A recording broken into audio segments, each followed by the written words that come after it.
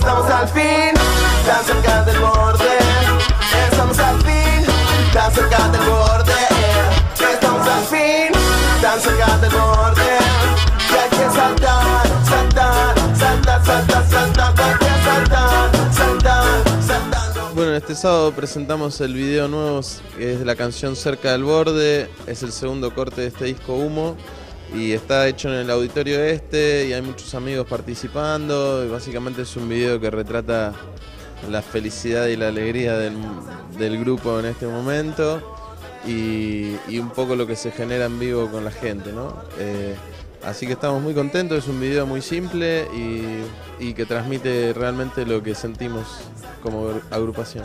La alegría de este momento viene de tomar conciencia que ya hace ocho años que venimos tocando juntos y que siempre se ha avanzado, se han hecho tres discos, este, se ha juntado un grupo de personas que apoya este proyecto y que lo disfruta y que siente las canciones con nosotros.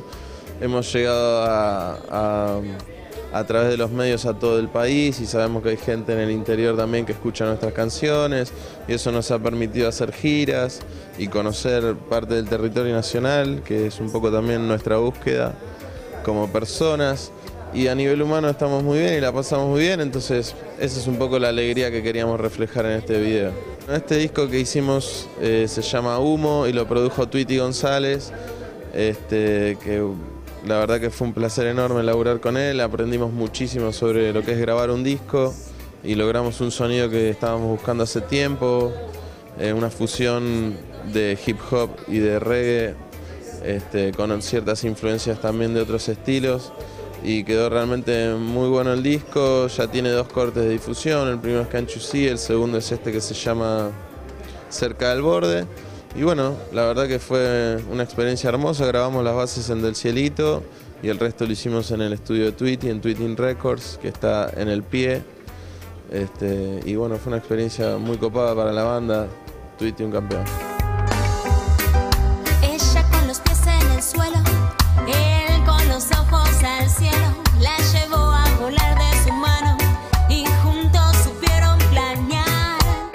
Se trata eh, de una banda de reggae, es un quinteto, por lo cual somos bastante este, distintos al resto de las bandas que son más multitudinarias para hacer de reggae.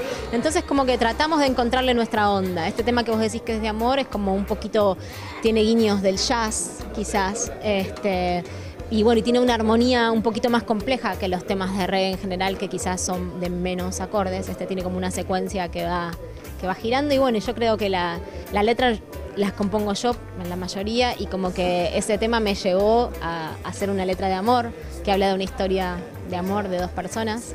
Y, pero por lo general las letras, hay un par de letras románticas y otras letras que son de una búsqueda espiritual, otras letras un poquito más que hablan de historias de vida. Eh, otra letra que habla, por ejemplo, de la trata de personas, o sea, un poquito de todo hay. Tenemos dos discos hasta el momento.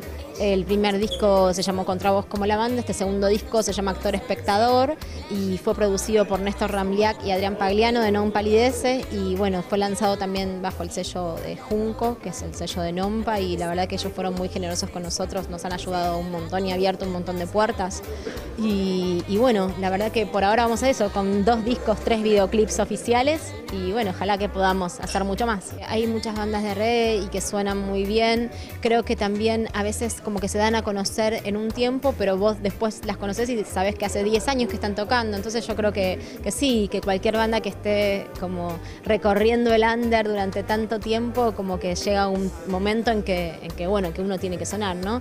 Y bueno, yo celebro la verdad que cada vez que haya más bandas, que haya más eh, posibilidades para que la gente pueda elegir y, y- y escuchar música. A mitad del